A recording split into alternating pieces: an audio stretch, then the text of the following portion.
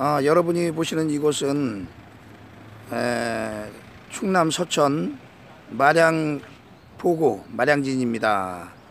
이곳은 일출과 일몰이 동시에 볼 수 있는 곳이라 아, 우리 예, 아주 어, 유명한 곳입니다. 어, 이곳에 에, 일출은 매일 볼 수 있는 것은 아니고 어, 12월 중 50일 동안 볼 수 있습니다. 그런데 이곳에 에, 아주 중요한 아, 아주 기념할 만한 일, 일이 있습니다. 이것이 뭐냐면은 지금 여러분이 보고 계시는 어, 이 한국 최초 어, 성경 전래지 그러니까 우리 이곳이 한국에서 제일 처음에 성경이 전해진 곳입니다. 어, 이곳이 에, 그러니까 어, 전문가들의 고증을 통해서 보면은 우리 한국의 최초의 성경이 전래지로 어, 저, 최초 성경이 전해진 곳으로 확인이 되어 가지고 이곳에 2004년도 12월에 기념비를 세웠습니다. 이 성경 전래 기념비 내용을 보면은 어, 1816년 9월 5일 영국 해군 어, 머리 맥슈엘 대령과 바시롤 대령이 에, 서해안 탐사차 이곳 마량진에 들려서 마량진 참사 어, 조 대복에게 한국 최초로 성경을 전해 주었다고 어, 기록이 되었습니다. 이때 이제 어, 비임 현감 이승열에게도 같이 이렇게 두 사람에게 이제 전해 주었는데 에, 우리가 알려, 많이 알려진 사람 조대복에게 전해진 것을 알고 있습니다. 세 권의 책과 문서를 전해줬는데 그 그것에 성경 두 권이 전해졌다고 합니다. 아마 영어로 전해진 것 같습니다. 영어 성경 같습니다. 그래가지고 그것이 뒤에 큰 그 사람들에게 알려지고 그런 어떤 전도가 되었는지 그것이 기록이 되어지 않았기 때문에 묻혀 있다가 어, 이 일을 이제 이곳에 기념하게 된 것입니다. 여기에 이제 이때 에, 여기에 이제 보면은 이 어, 언덕 위로 저 멀리 보이는 곳이 에, 아펜젤러 어, 선교사 기념관입니다. 그 옆에는 동백정 교회가 있는데 동백정 교회 옆에 아펜젤러 순직 기념관이 있습니다.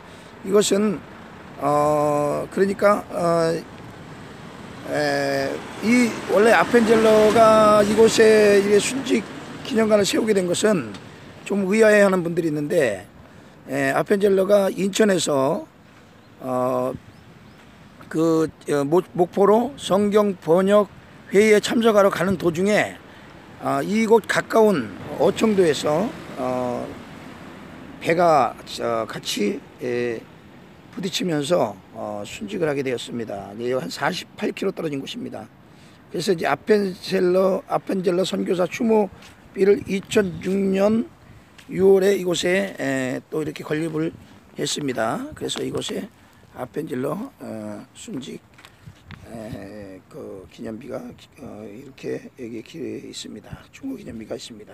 맨 처음에 저 성경이 전해질 때 이곳에 타고 온 배가 두 척이 있는데 예, 영국 해군 머리 맥스웰 대령과 어, 바실 힐 대령이 수행함 어, 알세트호 어, 알세트호와 라리오의 두 척을 끌고 이것이 왔습니다. 이 배가 지금 여기에 이렇게 예, 기념해서 어, 복원을 해서 이렇게 놓았습니다. 예, 그때 모형을 이렇게 두 배를 두 척을 어, 이곳에 모형을 해서 기념을 하고 있습니다.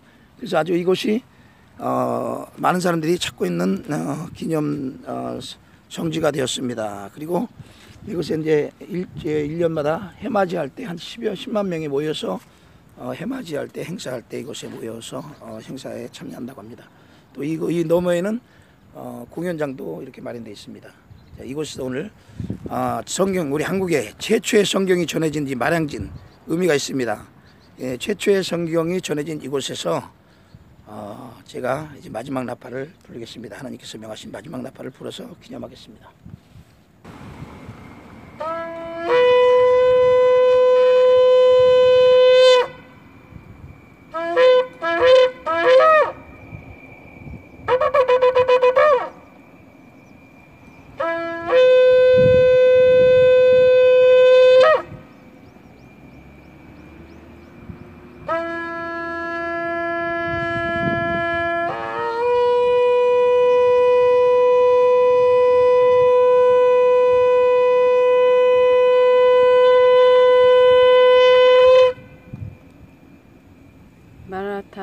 최초의 성경이 전해졌던 마랑 포고 마랑진에서 하나님의 마지막 나팔을 불어서 대인연 아, 마지막 대속제절 하나님의 에, 말씀 하나님의 말씀 나팔을 전합니다.